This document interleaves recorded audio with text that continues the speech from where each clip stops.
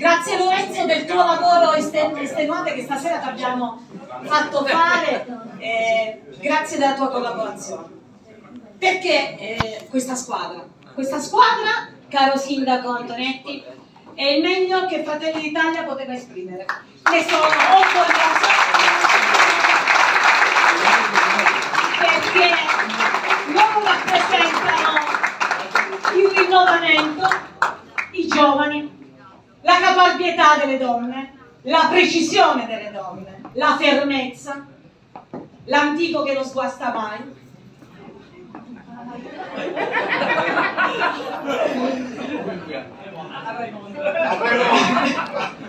e soprattutto la freschezza di un pensiero.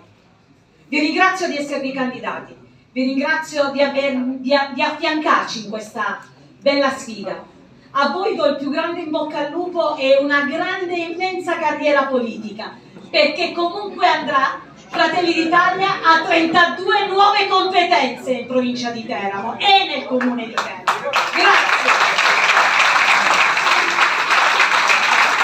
Grazie al generale Di Sabato, grazie a Guido Liris, grazie all'onorevole Donzelli, nonché organizzatore, capo del partito e stasera che è sabato insieme alla sua signora che ringrazio sono venuti a Teramo in quest'ora un po' non tanto simpatica.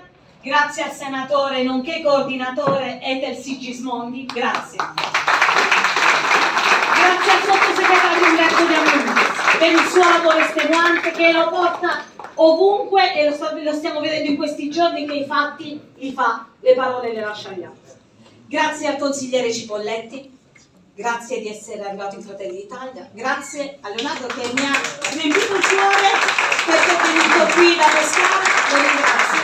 Ringrazio anche di Pasqua da Pescarese, i sindaci, grazie Sindaco Agostinelli, grazie Rosanna, siete stati gentilissimi.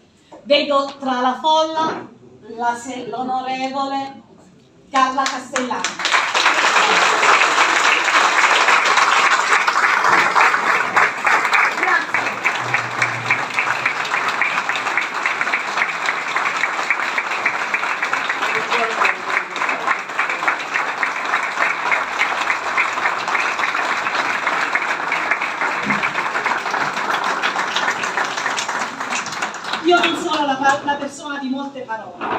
Quella dei fatti. Sono con voi e lo sarò sempre.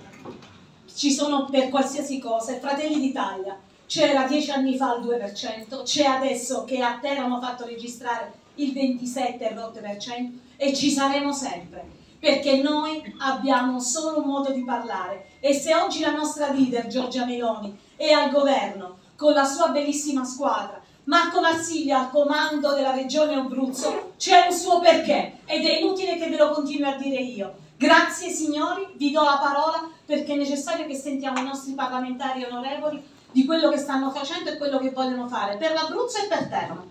Buon voto a tutti!